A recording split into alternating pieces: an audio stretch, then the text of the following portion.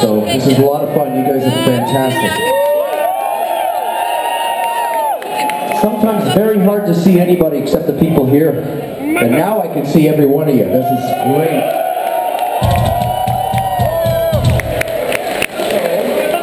Give us a second.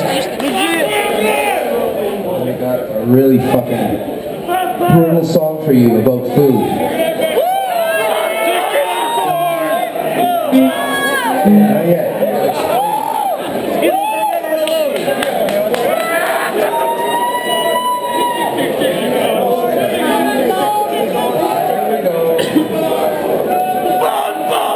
Some people know this already.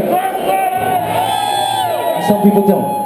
But when I was a, I don't know how old I was, but in 2001, actually a few years before that, I had a, a baby son and his mother died of cancer. So very early on, I was a single father, just me and my son, um, and I did the uh, King of the Kill album, or something after that, Refresh the Demon or something. And I used to uh, write him a lot of songs as a kid when he was a little baby, and when he turned four or five, I wrote him a song, and he loved chicken and he loved corn. And somehow that made it onto an Annihilator CD, and a lot of people fucking love this song. So we're gonna, we're gonna play a song for my son, but we're gonna dedicate it to you, okay? It's called Chicken, Chicken, Chicken and Corn.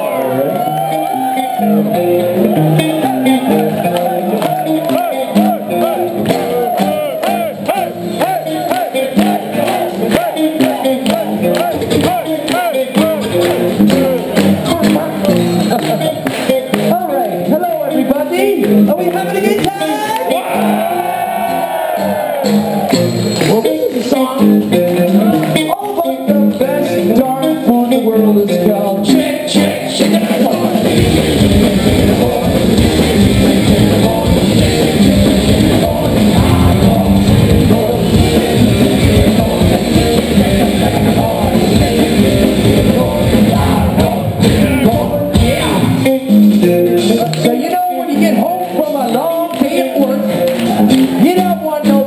you don't want no cigarettes or smoke, you don't want nothing except a big hard bowl of hot chicken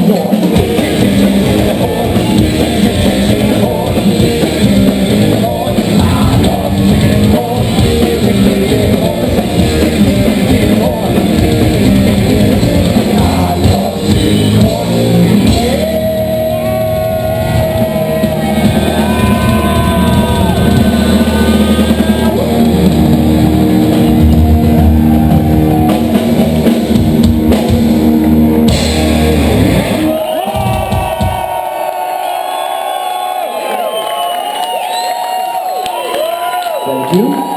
Fuck, that was heavy.